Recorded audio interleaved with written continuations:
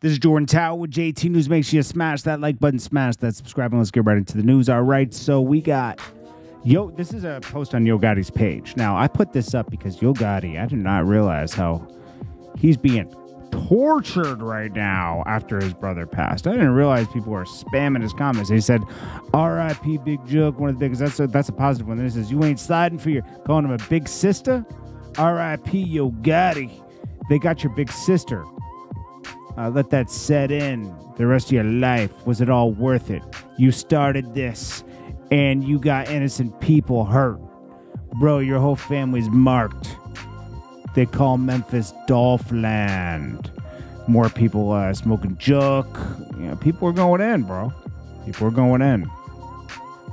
People are going in on this. Um, you know, I don't know what happened to Big Jook's funeral. Nothing. Um, we'll see. They might have postponed it. Who knows? You know, it's it's not looking like anything happened because people in Memphis would have reported it.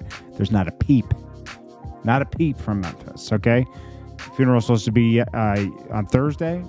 Didn't happen. Maybe it'll happen this weekend. Who knows? You know, things change. Glorilla. So she just dropped like a, a pretty good song, and she didn't drop the whole song. I don't think. I think she just dropped a snippet.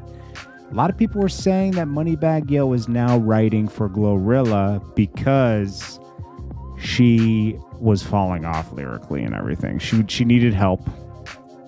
Called up the Moneybagg Yo factory, came in, wrote for her, and got her back right. That makes sense because how all of a sudden is she rapping back to Glorilla again, or or just sounding? She has a different sound. Hey, when you start getting money, you got to keep that money coming in, man. You got bills now. You got Maybachs, you got houses and everything. You got bills. Anyways. All right, so Nicki Minaj compared um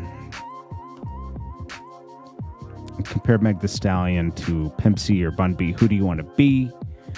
And uh I guess Pimp C's uh wife Chinara Butler said, um, Trill talk that Megan the Law hit a nerve. I see. Oh, I heard Nicki.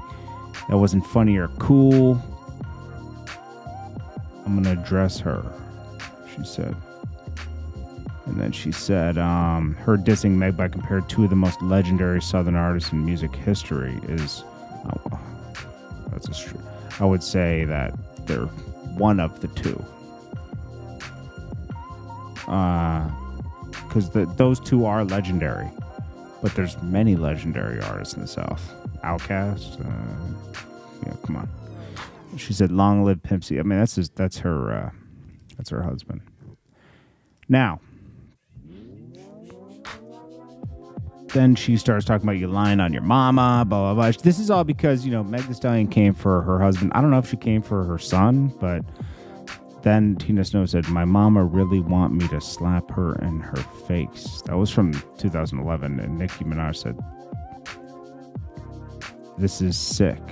Repent, wicked woman, repent.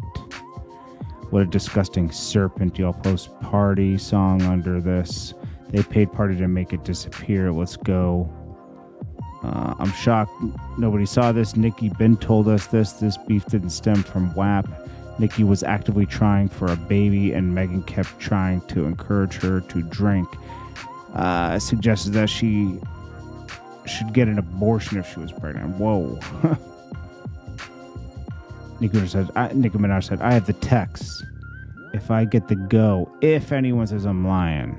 So now we got the video and text messages. Y'all want to bring up family members and lying on your dead mother, lied to Gayle, lied. You know, we talked about this.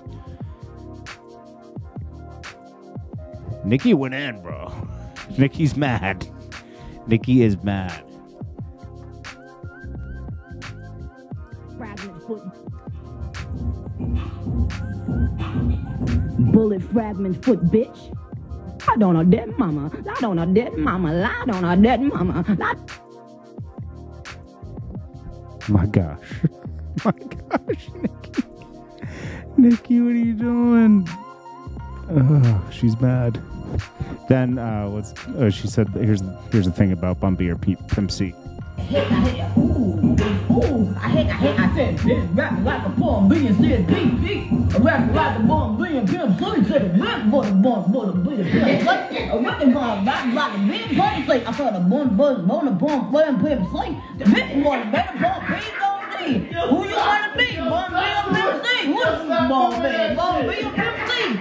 Is your bitch, is your pimp, C, you're your bomb, bitch,